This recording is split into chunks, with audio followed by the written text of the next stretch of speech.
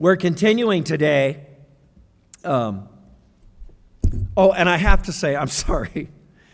Uh, the idea of an anniversary gift uh, to the Gospel Rescue Mission is a, another thrill of my heart. Uh, the ministry and the gospel work of the Gospel Rescue Mission of Tucson has also been one of the thrills of my life. And so, uh, thank you for thinking that up and for your generosity. Uh, I'm just so excited, and uh, thank you for that. Thank you for your gifts. Okay, our worship series is God Space, and I want us thinking about that today.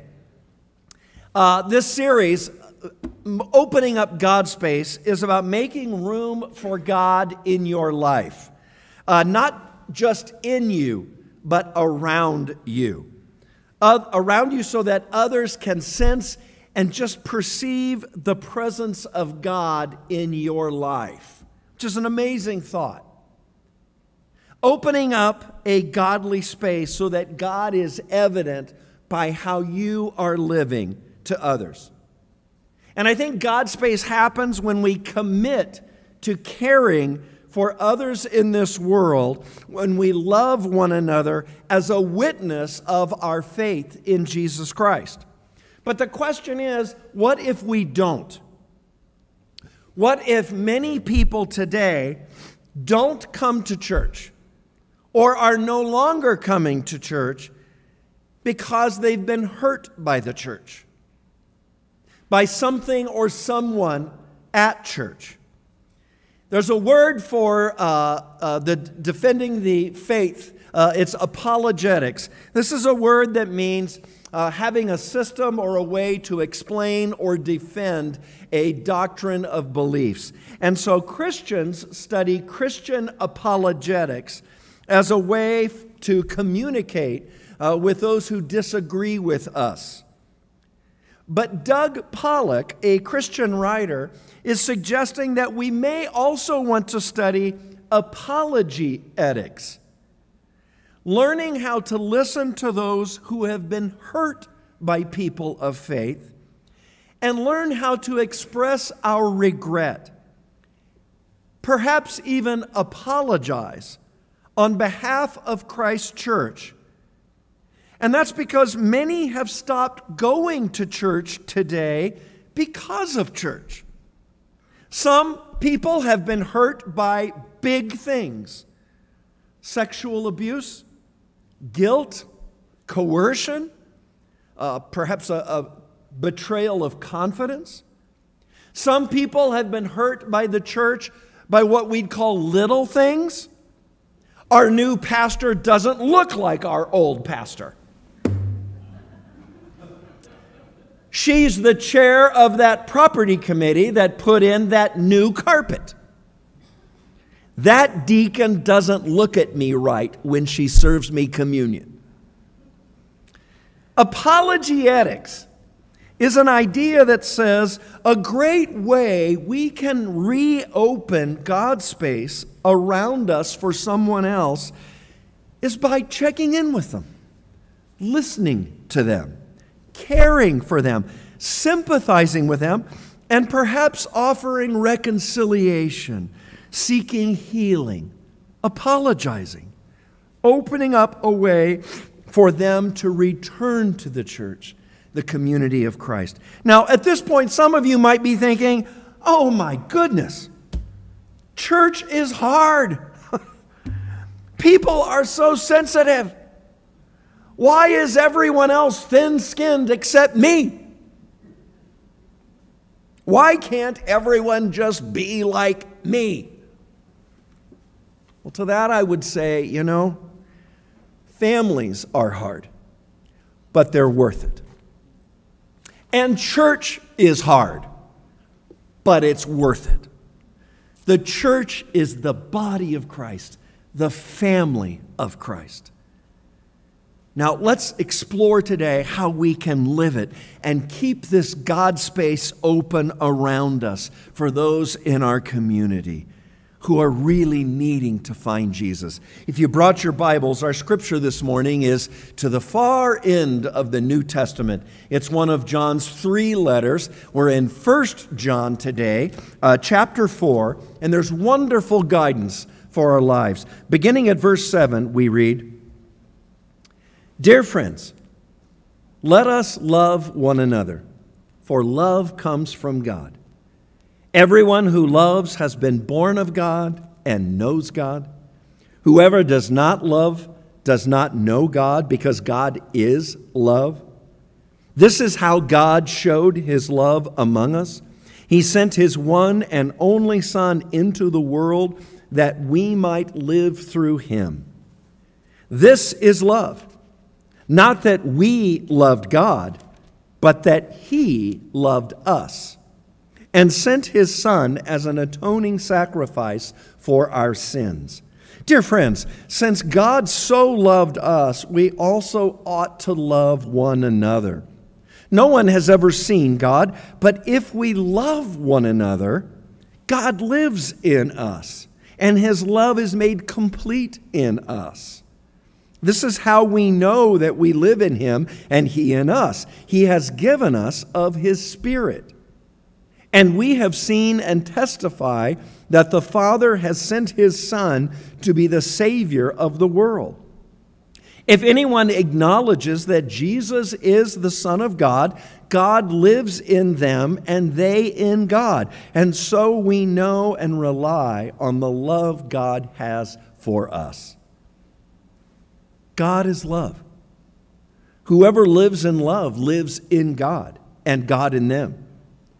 This is how love is made complete among us, so that we will have confidence on the day of judgment. In this world, we are like Jesus.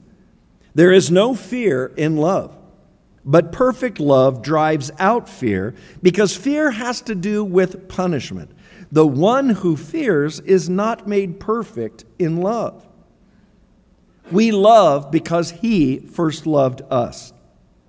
Whoever claims to love God yet hates a brother or sister is a liar. For whoever does not love their brother and sister whom they have seen cannot love God whom they have not seen. And he has given us this command anyone who loves God must also love their brother and sister. Will you pray with me? Lord, we thank you for this reading of your holy word. Help us, Spirit of Christ, to hear your voice and respond with our lives.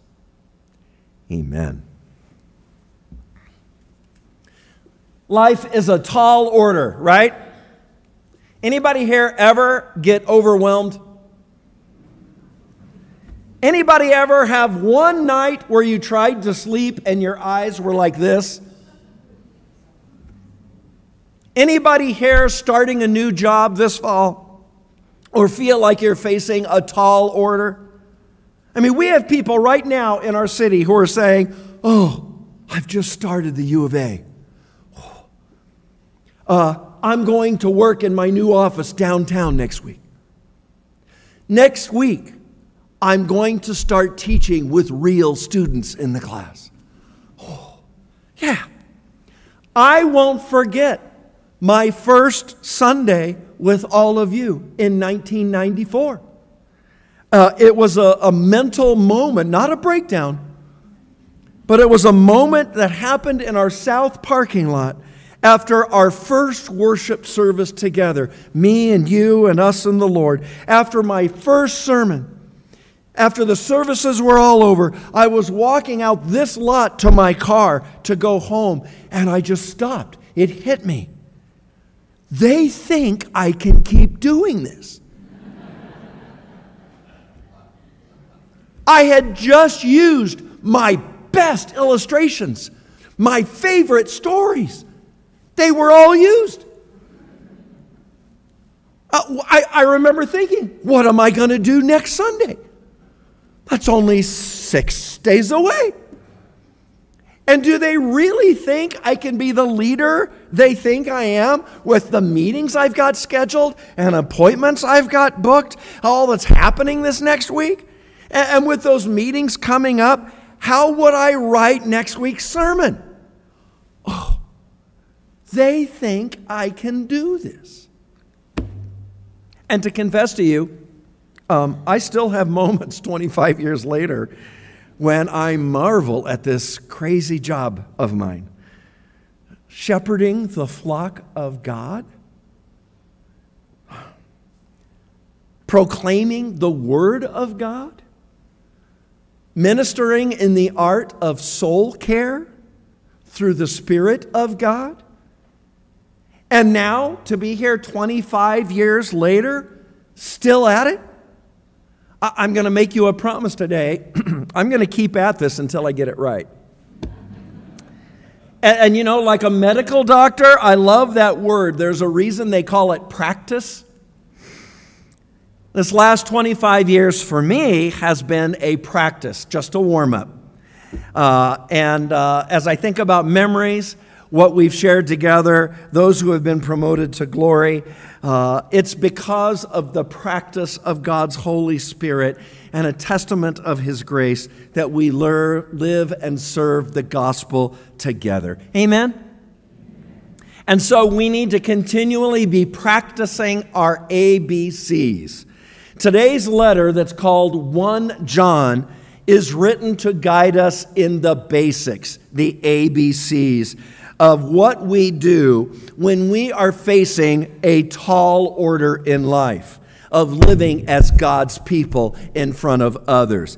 And God's answer, God's guidance for us in facing tall orders can be summarized to one word love.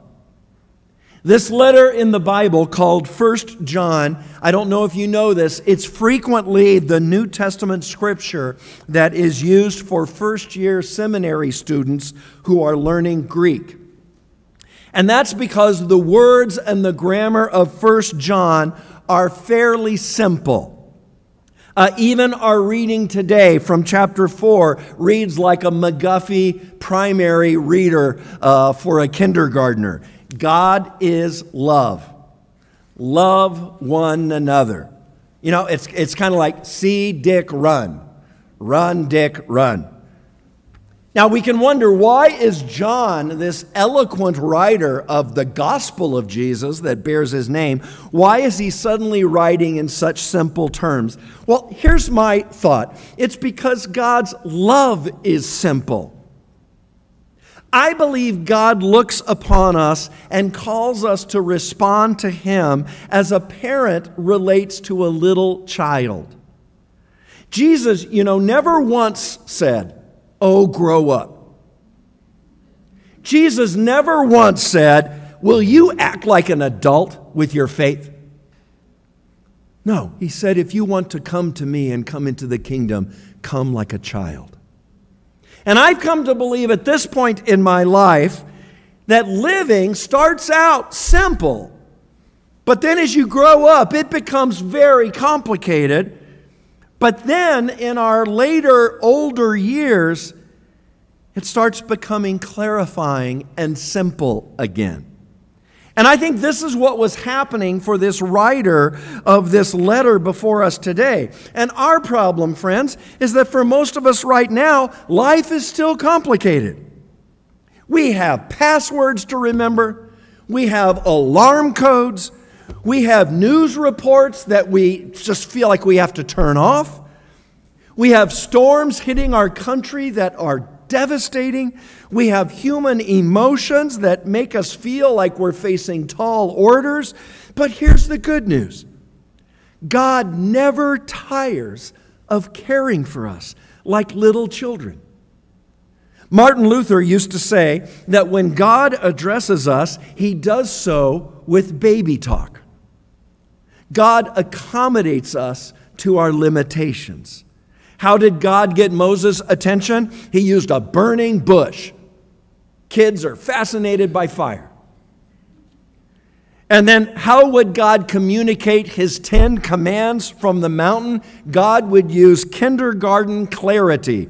The literal Hebrew of the Ten Commandments is you no kill, you no lie, you no steal. And so the Old Testament prophets, they would tell animal stories about lions and lambs. Jesus would tell stories about seeds and figs. And God's ultimate baby talk was given to us when He gave us the gift of His presence as a baby born to Mary in a manger in Bethlehem. But here's our situation. Human love becomes complicated. As we grow through life, we tend to stress performance over presence. You know, I, I just heard this past week about an online dating site. I heard it from a friend, I wasn't checking it myself. An online dating site where it states that your best love match is dependent on 29 human aspects of compatibility. It's called a compatibility matching system. And all these 29 traits of values and humor and hobbies and intellect. And, and my thought was, just 29? I mean, you and I could add another 29 quickly, right? The, the trait of toilet seat lowering, the, the trait of toothpaste tube squeezing the, the trait of backseat driving, for example. You know, Michelle and I, we just came back uh, this last week from a visit to California. And, I, and it's really cool. Michelle drove the whole way. I just held the steering wheel.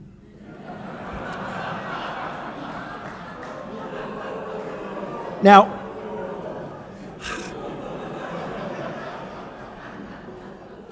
I got permission to use that joke just like I have for all 25 years. But let's be clear how we perform with our loved ones, how we measure up with our choices and actions, it absolutely matters. It's just that our human performance doesn't matter absolutely. God's love and presence was never given to us to excuse us from responsibility. But it's just that our ability to perform perfectly can never be the standard upon which love is based. God shows us that He is love, and that because He is love, He loves us with a presence that supersedes human performance. With God, it's like this God's love becomes simple. With God, it's His presence that is stressed over performance. You might remember that Old Testament story about the prophet Hosea whose wife was a prostitute. Her name was Gomer, which probably didn't do much for her self esteem. But she sold herself for others' pleasure. And her husband, Hosea, became outraged, heartbroken. He thought they had matched up on all 29 categories. Hosea knew that the only logical thing for him to do was to throw her out, dismiss her, divorce her. But he found to his amazement that he couldn't bring himself to do it. There was this bond, this covenant. It was then that Hosea the prophet realized, I think I know now how God feels. Now, friends, you and I are nothing to write home about. there's not a day that goes by where we really hit the bullseye of perfection square on the nose. Can, can you think of one day, just one day, in which you were completely faithful and righteous in your calling as a God follower in word, actions, and thoughts? The Apostle Paul tells us there is none righteous, No, not one. Isaiah the prophet once said, Our righteousness is as filthy rags. How am I standing here 25 years later in this pulpit? By the amazing grace of God. How are you here in this sanctuary, in acting in the participation of holy worship with a living God? By the grace of God. With God and this love that's described again and again in our reading. The word love, and it's agape, no strings attached, grace love. It's mentioned 27 times in our reading. Our confidence, our basis for living, our standing before God then and now is based on God's presence, not our performance. And so, what is our call? Our call is to present it forward. And so, if God's love is so simply based on His presence, His Spirit graciously bestowed to us through the life, the sacrificial death of Jesus, His Son, Jesus' resurrection from death, Jesus, my friends, wants us to live it forward. John says, Since God so loved us, we also ought to love one another. Notice how he said that. Notice. He's not saying when people say thank you back, love one another. It's not when people appreciate you, love one another. It's not when people treat you in the same reciprocal way, love one another. It's not when someone is especially attractive to you, love one another. It's not when someone can help you get ahead, love one another. No. Since God so loved us, we ought to love one another. The Apostle Paul points out in Romans chapter 5, he says, God shows his love for us in that while we were yet sinners, Christ died for us. People aren't perfect. Love them anyway. You and I are not perfect. Jesus loves us anyway. Jesus loves you anyway. There's something in me right now that wants to say that 25 more times because it's so astounding. Jesus, the Son of the living God, loves you anyway. Sometimes I think our masterpiece achievements in life, like perhaps an anniversary like this for me, are to God like a child's coloring picture, crudely drawn and colored of a heart and some people and family. But God puts it on his fridge. God tapes it up to his cupboard. Oh, friends, you and I will never, never know how much God loves us. Jesus died for me. Jesus died for you.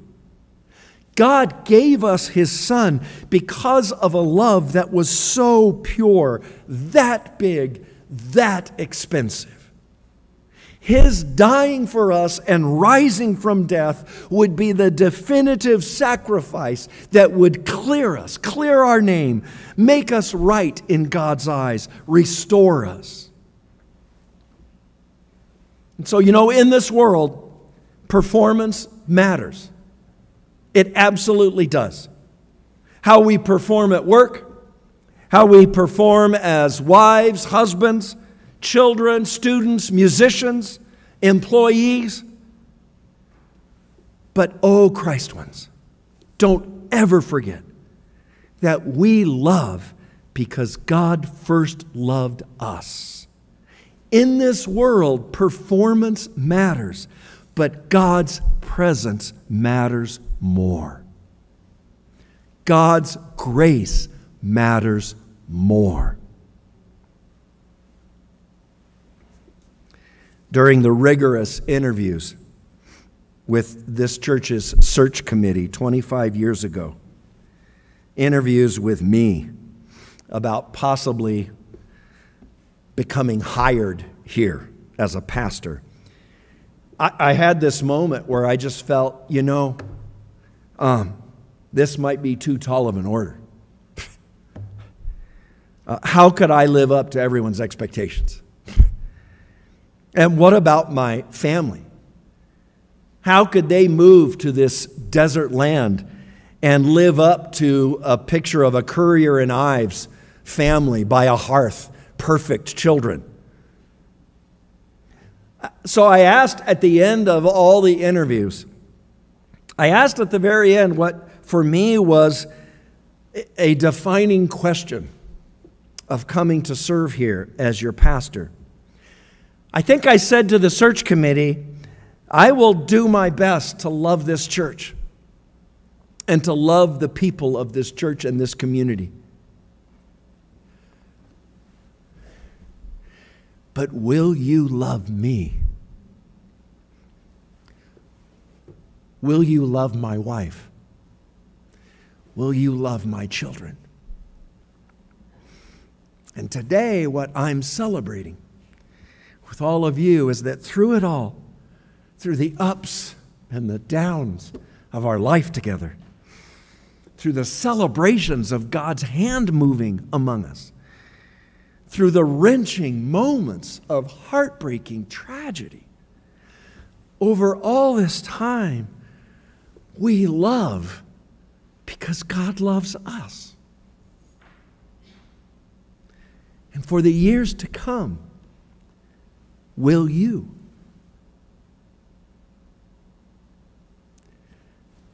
Let's pray.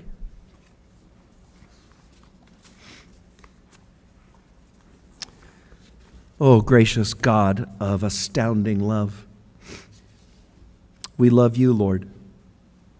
We praise your holy name for giving us yourself as the best gift. Oh, Jesus, help me to be better at loving. Help each of us here to be an ambassador, a better agent of love for all those around us through all the days of the week. Jesus, show us how to reach out with our hearts, not just slogans. Jesus, help us to excitedly look forward to the years ahead and not live in fear. Jesus, help us to claim your love, which, like a shield, will lead the way forward so that this world will know there is hope, Jesus, in you. O Lord Jesus, in your name we pray. Amen.